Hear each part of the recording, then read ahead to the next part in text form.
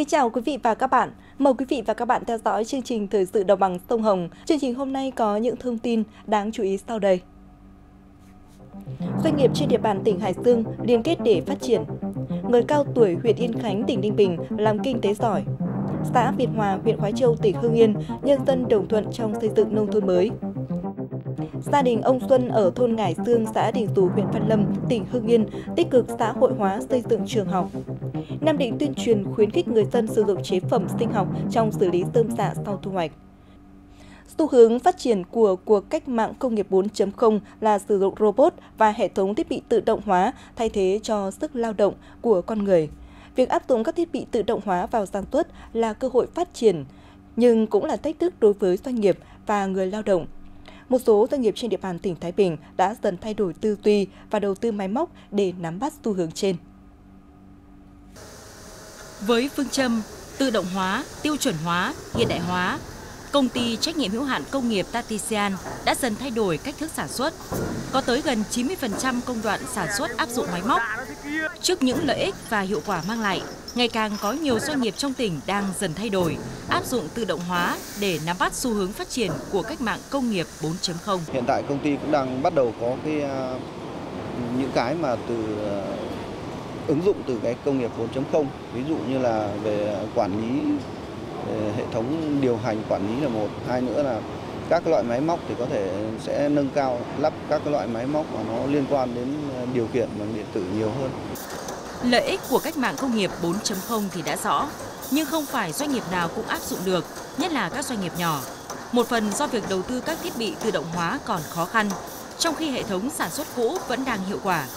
Nhưng nguyên nhân chủ yếu cũng là rào cản nhất vẫn là thiếu hụt nguồn nhân lực chất lượng cao, có đủ khả năng vận hành máy móc, thiết bị trong thời kỳ ứng dụng 4.0. Với tốc độ phát triển của cuộc cách mạng công nghiệp 4.0 như hiện nay, thì các doanh nghiệp của Thái Bình sẽ bị ảnh hưởng trước những thách thức về công nghệ và việc làm của người lao động. Vì vậy, doanh nghiệp cần có tích lũy tài chính để thay đổi dần công nghệ, quan tâm tới năng suất và chất lượng sản phẩm. Về phía người lao động, cần tìm hiểu kiến thức nhất định của cách mạng công nghiệp 4.0, nâng cao tay nghề để làm chủ thiết bị, máy móc. Và bây giờ là nội dung chương trình. Thưa quý vị và các bạn, trên địa bàn thị trấn Ninh Tân, huyện Kinh Môn, tỉnh Hải Dương hiện có khoảng 200 doanh nghiệp đang hoạt động. Tuy nhiên do sự thiếu kết nối nên hoạt động sản xuất kinh doanh an sinh xã hội chủ yếu là do tự phát chưa tạo được động lực để phát triển. Những hạn chế này hiện từng bước đã được khắc phục từ khi hội doanh nghiệp được thành lập. Thị trấn Minh Tân hiện có khoảng 200 doanh nghiệp hoạt động trên nhiều lĩnh vực, trong đó chủ yếu là khai thác sản xuất công nghiệp nặng, lĩnh vực dịch vụ. Với 40 hội viên, Hội Doanh nghiệp thị trấn Minh Tân đã huy động được nguồn quỹ gần 1,5 tỷ đồng. Trong 6 tháng đầu năm, hội đã dành gần 400 triệu đồng tham gia các hoạt động an sinh xã hội trên địa bàn thị trấn và một số xã trong huyện.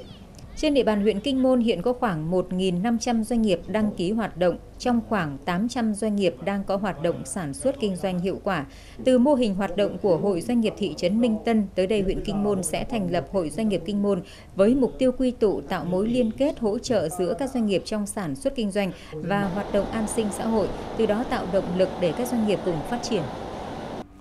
làng Ngọc Lâm, xã Nghĩa Hải, huyện Nghĩa Hưng, tỉnh Nam Định có khoảng hơn 40 cơ sở sản xuất nước mắm, mắm tôm chủ yếu theo hình thức sản xuất hộ gia đình và làm hoàn toàn bằng phương pháp thủ công truyền thống. Hầu hết các cơ sở tại đây đều tận dụng nguồn cá cơm, cá lục do ngư dân địa phương khai thác từ biển. Để nâng cao chất lượng sản phẩm và tạo chỗ đứng ổn định cho sản phẩm của làng nghề trên thị trường, Hội Nông dân xã Nghĩa Hải đẩy mạnh tuyên truyền để các hộ sản xuất hiểu được ý nghĩa và tầm quan trọng của việc xây dựng và bảo vệ thương hiệu cho sản phẩm của làng nghề trong nền kinh tế cạnh tranh. Phối hợp với các cơ quan chức năng, tổ chức các lớp tập huấn kỹ thuật chế biến nước mắm, mắm tôm, phổ biến các quy định, quy trình đảm bảo an toàn vệ sinh thực phẩm, tạo điều kiện hỗ trợ cho các hộ, cơ sở sản xuất vay vốn phát triển sản xuất từ năm 2015 đến nay, ngoài tiêu thụ trong tỉnh, thị trường tiêu thụ nước mắm và mắm tôm của làng nghề Ngọc Lâm đã được mở rộng đến các tỉnh miền Trung, vùng Tây Nguyên.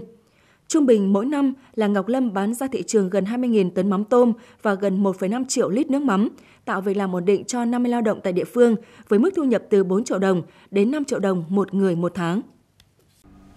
Nhằm giúp cho người cao tuổi phát huy được vai trò trong phát triển kinh tế xã hội, Hội người cao tuổi huyện Yên Khánh, tỉnh Ninh Bình đã đẩy mạnh phong trào thi đua tuổi cao gương sáng trên nhiều lĩnh vực, qua đó đã xuất hiện nhiều tấm gương làm kinh tế giỏi, đem lại thu nhập cao cho gia đình, góp phần đẩy nhanh tiến trình xây dựng nông thôn mới ở địa phương. Thời gian qua, Hội người cao tuổi huyện Yên Khánh, tỉnh Ninh Bình đã đẩy mạnh phong trào thi đua tuổi cao gương sáng trong phát triển kinh tế. Để phong trào đạt hiệu quả, hội đã vận động các hội viên còn sức khỏe tham gia sản xuất, đồng thời tạo điều kiện cho các hội viên đi tham quan các mô hình đạt hiệu quả để học tập kinh nghiệm. Từ việc tham quan các mô hình, nhiều người cao tuổi đã dám nghĩ, dám làm, mạnh dạn đầu tư vốn để phát triển kinh tế. Phát huy vai trò bản chất lao động cần cù, thông minh, sáng tạo, với ý chí kiên cường, người cao tuổi trên địa bàn huyện Yên Khánh đã khẳng định mình qua những thành quả lao động, được cấp ủy chính quyền địa phương ghi nhận. Hiện toàn huyện có trên 18.000 hội viên người cao tuổi, trong đó có 427 người cao tuổi đạt danh hiệu sản xuất kinh doanh giỏi các cấp giai đoạn 2012-2017.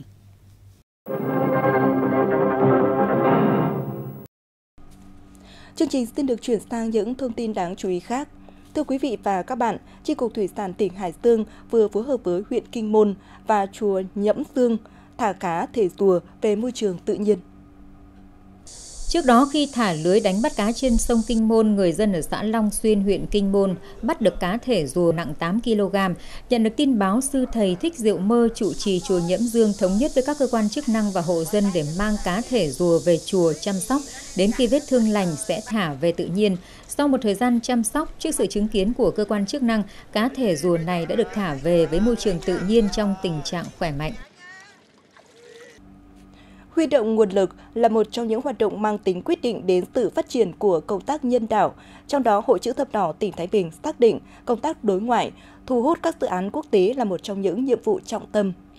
Nhiều chương trình hoạt động được sự tài trợ của các tổ chức phi chính phủ, nước ngoài đã giúp hàng nghìn người dân được hỗ trợ về sinh kế, vươn lên thoát nghèo, thay đổi cuộc sống khó khăn. Nhờ dự án mái nhà an toàn, từ năm 2011 đến nay đã có 60 căn nhà mới được xây dựng giúp hộ dân nghèo, hơn 400 gia đình có hoàn cảnh khó khăn được vay vốn lãi suất thấp để sửa nhà.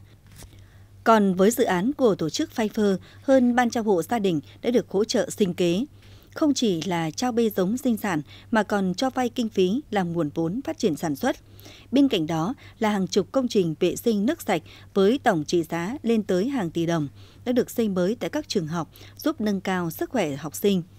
Hội chữ thập đỏ tỉnh Thái Bình tiếp tục tăng cường công tác đối ngoại, duy trì mối quan hệ hợp tác với các tổ chức quốc tế. Hội chữ thập đỏ nước ngoài đồng thời đảm bảo tính công khai, minh bạch hiệu quả các dự án mà tổ chức đầu tư, coi đó là cách tạo dựng niềm tin uy tín và khích lệ sự ủng hộ của các nhà tài trợ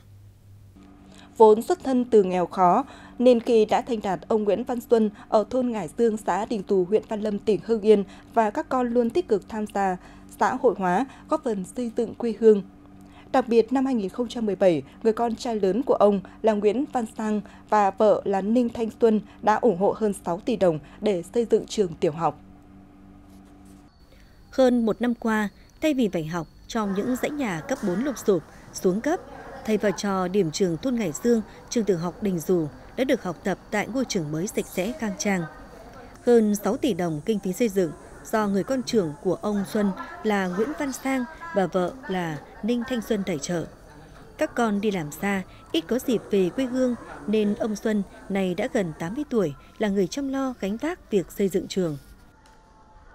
Cách đây đủ 2 năm là có ý tưởng là sẽ xây tặng các cháu một cái trường cho nó khang trang thì trường trong kia nó cũng xuống cấp quá rồi. Vợ chồng có quyết định nó và nó xin ý kiến về phía tập thể xong cái nó về nói tôi, tôi cũng ủng hộ. Thế còn thường ngày thì tôi cứ thỉnh thoảng qua đây động viên các cháu thi công là phải làm bằng xong tiếng là phải giao được trường trước tết.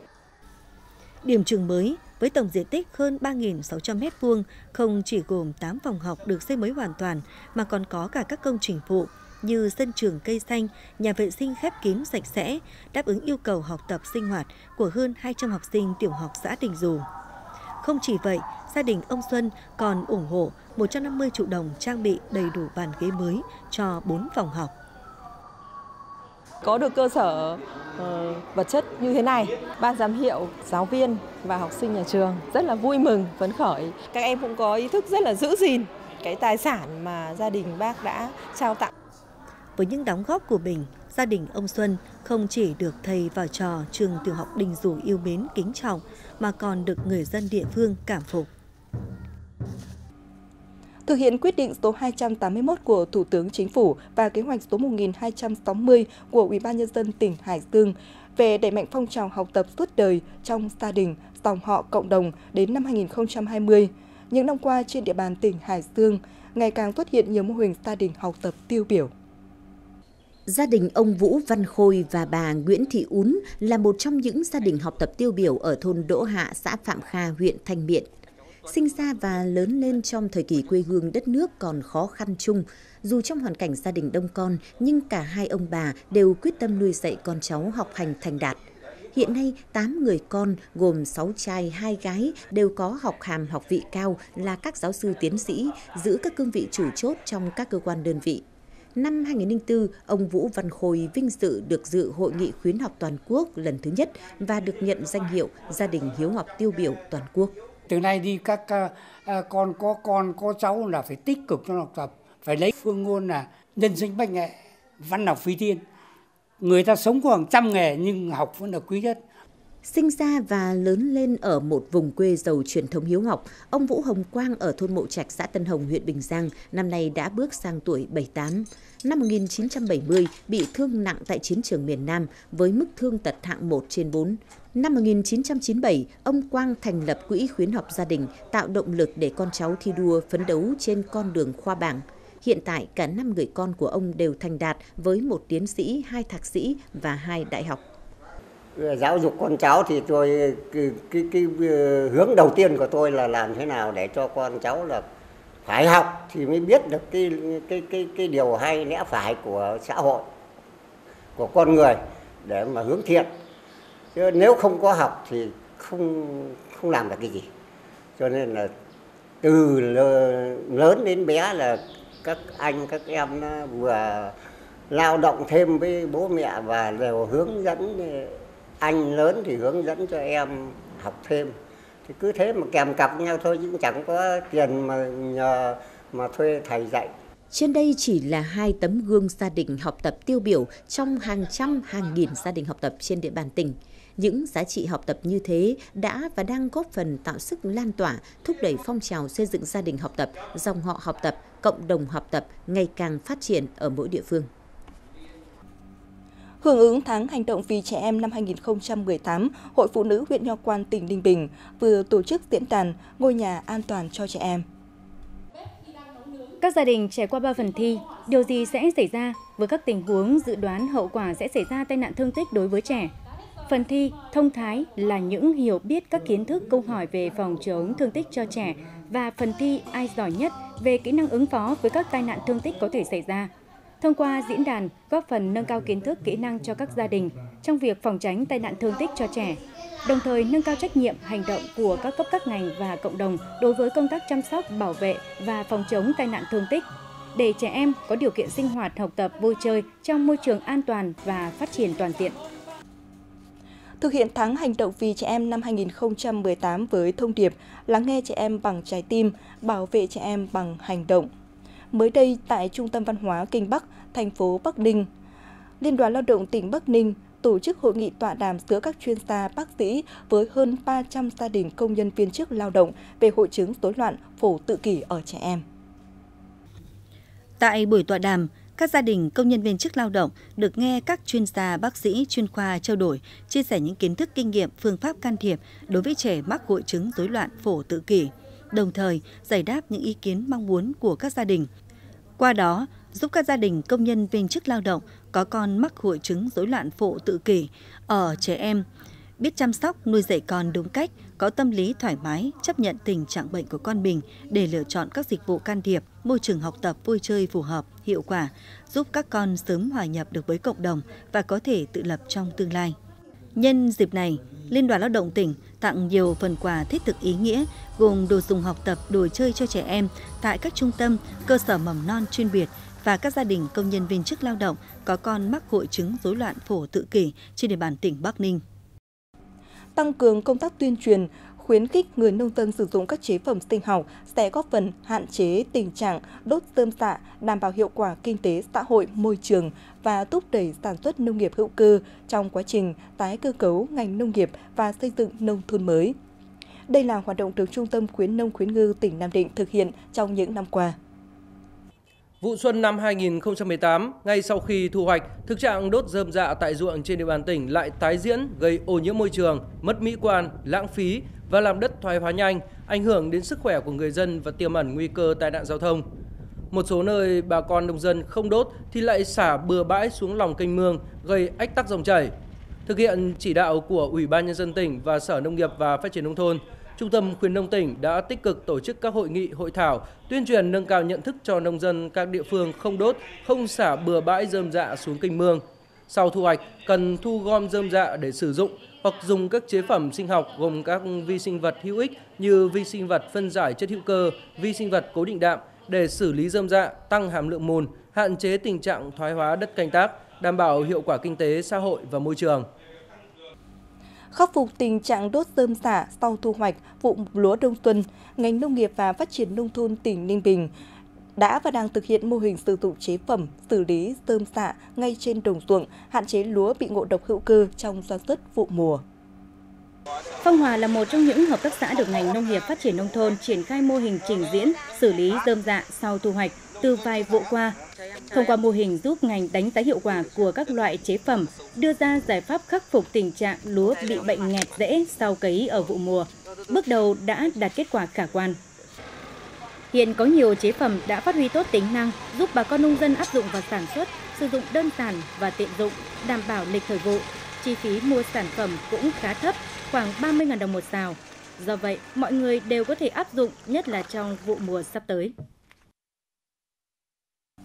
do quản lý của chính quyền các địa phương không chặt chẽ nên từ đầu năm đến nay tình trạng lấn chiếm hành lang đê điều trên địa bàn tỉnh Hải Dương tiếp tục diễn biến phức tạp, đe dọa nghiêm trọng đến sự an toàn của tuyến đê.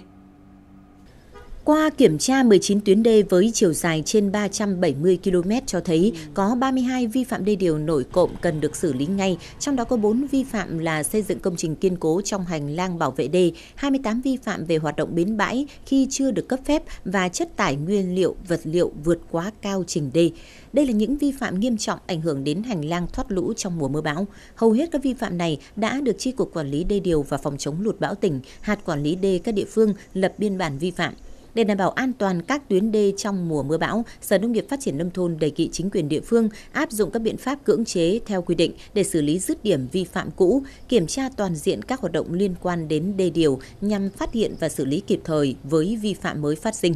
Bên cạnh đó, đẩy mạnh công tác tuyên truyền để người dân nâng cao nhận thức, tự giác chấp hành luật đê điều, nhất là đối với các hộ đang có hoạt động kinh doanh bến bãi và sinh sống ven đê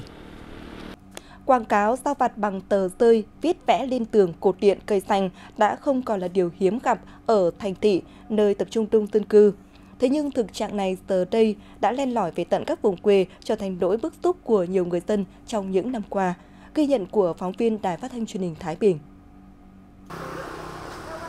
Cột điện, cột đèn, biển báo giao thông, hộp đồng hồ, cây xăng, thậm chí là cổng chào. Tràn lan những tờ quảng cáo giao vặt được dán chi chít với đủ màu sắc, kích cỡ khác nhau. Đây là thực trạng dọc theo quốc lộ 39B, đoạn qua xã Vũ Ninh, huyện Kiến Sương, từ lâu đã trở thành nỗi bức xúc của nhiều người dân. Hiện chung bây giờ là các à, thành phần đi dán quảng cáo ở xung quanh các cột điện với lại các à, nhà chúng tôi ở đây là chúng tôi toàn phải đi nột nhưng mà nột nó rất là khó mà nó dán rất là nhiều mà trông là nó không thể coi được.